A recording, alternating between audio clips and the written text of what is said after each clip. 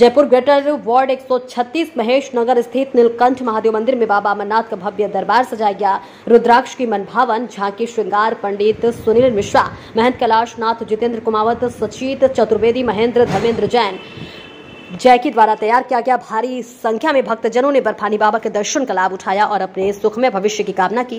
कार्यक्रम में ग्रेटर पुनीत कर्णावत भी मौजूद रहे।